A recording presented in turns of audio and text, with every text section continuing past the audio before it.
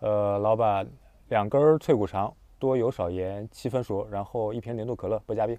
我 顶你个肺！我给了场地钱，咁多要求，俾个官你做好唔好啊？啊，你说什么？我没事。还有一瓶，来，看这素质。那这个志豪为什么可以把生意做得这么屌呢？对，我们来看一下这整个创业项目的启动成本。光这辆福特 F 幺五零 LTD 版，它在国内的指导价就要五十七万多。所以，真的不是一般人就能创业的，对不对？那这辆 F150 呢？它在国内并不是最顶尖那个配置，最顶尖的是一辆猛禽。但是在海外，在它老家呢，F150 的 LTD 就是整个金字塔最顶端那辆车了。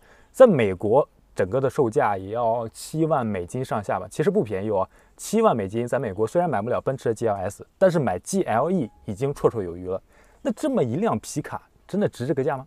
我们分六个场景来试一下。OK，Let's go。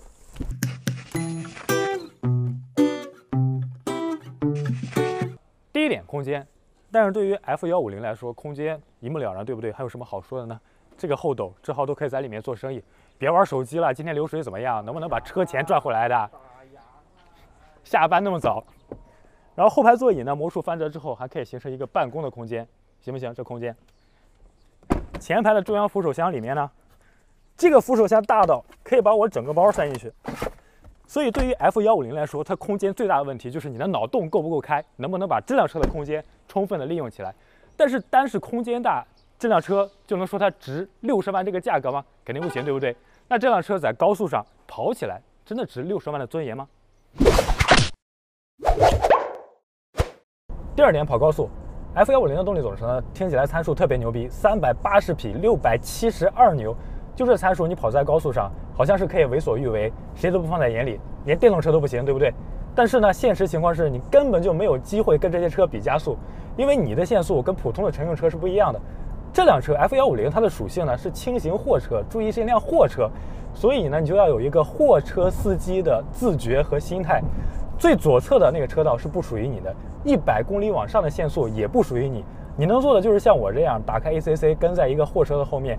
慢慢的这样巡航，但是你这样开车呢，会带来一个好处，就是特别省油，对吧？这辆车两点五吨左右，又是三点五升双涡轮的机器，但是在八十到一百这个工况巡航的时候呢，它的油耗就八升出头。然后 F 幺五零它的油箱呢又有一百三十六升，所以你算一下嘛，这辆车在这种工况下巡航可以开一千七百公里左右，也就是说我从广州开到上海，中间是不需要加油的，太可怕了。第三点，越野开 F 幺五零跑高速呢，简直要被憋死了。那来到这种荒郊野外，终于压根儿就没人管了，是不是可以尽情撒欢儿呢？我们这辆 F 幺五零 LTD Limited 版呢，虽然它不是猛禽，但是你看一下它的越野硬件哈，在这个地方，分时四驱带低速四驱模式，后桥还有差速锁，前桥呢也有限滑差速器，这样的配置听起来是不是就想试试？走。啊！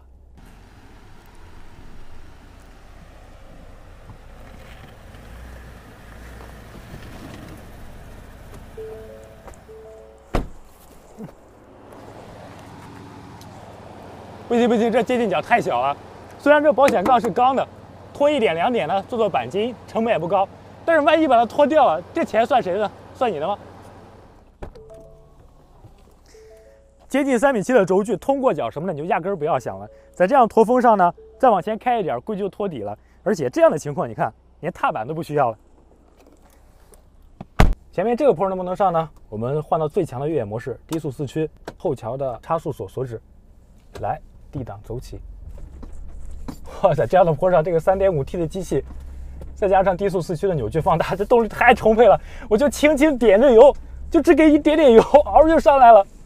而且呢，整个车的悬挂行程特别的长，像刚才那种沟壑呢，都完全不会形成交叉轴的，所以这个车的越野硬件还是很厉害的。就是各种通过角啊、离去角啊、接近角限制了这辆车的四驱的能力，可能从属性上来讲，去沙漠长途的穿越才能。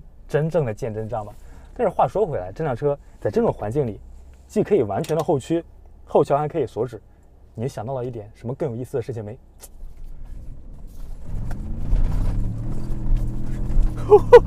牛，走你一百元。哇！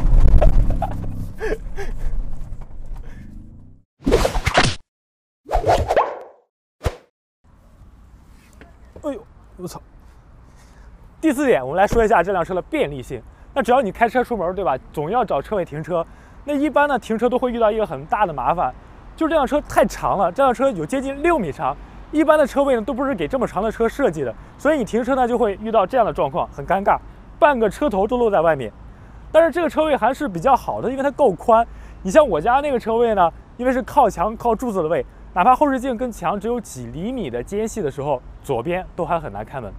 那有些人呢会说，哎，我的使用场景很极端，我就去买个德莱素，那这辆车能不能胜任呢？我们这就来试一下。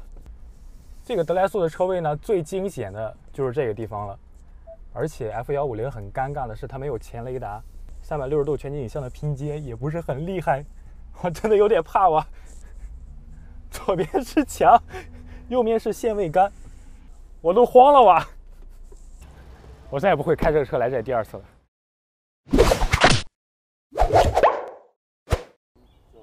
第四点，生活方式。其实我觉得，像福特 F150 这样的车呢，它代表着我们普通人最最美好生活的想象和向往。通过它，你可以想象到很多的画面。比方说，像这样的车型呢，我觉得真正的金主都不会担心什么自家停车的问题的。另外呢，就是因为有很多车嘛，所以平时也不会开 F150 这么大的车的，可能只是周末啊、节假日啊，带着一家老小，然后拖一个游艇或者拖一个房车。去欣赏我们祖国的大好河山，各种美景。那这辆车呢，其实它拖拽能力很强的，六百七十二牛米的三点五 T 双涡轮增压发动机，动力自然不不用多说。而且这个车架呢，它是可以承受四点二吨左右的拖拽能力的。但是呢，你像我现在的收入情况是没有办法充值这样的生活的，这样的生活太贵了。我能充的呢，就是这样一条狗。那我现在能想到最浪漫的生活方式，就是带着我的狗，把它放到后面的货兜里面。然后周末的时候，我们爷俩出去兜风。走，蛋蛋，蛋蛋，不要乱跑啊！上车，上，上，加油！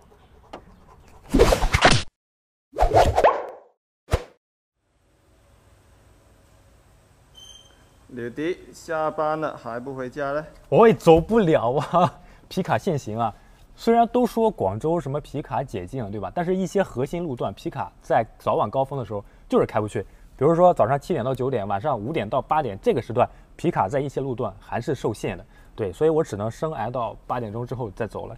而且更扯淡的是什么呢？更扯淡的是不同城市对皮卡的限行规定是不一样的。假如说哈，我今天要去趟佛山，我还要查一下佛山的限行是怎么规定的，这个简直太麻烦了，是吧？那。国家政策呢，对皮卡的歧视还不仅如此啊！你看这个行驶证，这是 F 幺五零的行驶证，上面写的清清楚楚：轻型普通货车强制报废期二零三四年，也就是十五年内强制报废。所以 F 幺五零根本就没有什么残值的概念啊！十五年后自动清零，也就是说你每天开车的时候，眼前好像都有一个画面，在有一个金额的倒计时，十五年后零，没有残值了，对吧？所以你看，不管我不管是我们这两天。从高速的体验、市区的体验，还是国家政策层面，都对皮卡非常的不友好，让我觉得吸引力不大。可能有些人会喜欢，这种普通人会喜欢，但是绝对不会出手买的。那这在一定程度上呢，也就造成了这种皮卡车的稀有性。那金主呢，或者说这种高端皮卡车呢，反倒是因为这种稀有性，变得对某些真的有钱人更加的有吸引力了。那对于他们来说呢，皮卡可能平时就停在自家。大 house 的车位里面，对吧？然后周末的时候，或者拉上游艇，或者拉上全地形车，甚至拉上房车，去寻找他们的诗和远方，那些我们这些普通人找不到的诗和远方，对吧？所以，不管是城市规划还是政策的导向，让这些在北美就是工具车的大皮卡，到我们这里反倒成了有钱人的大玩具。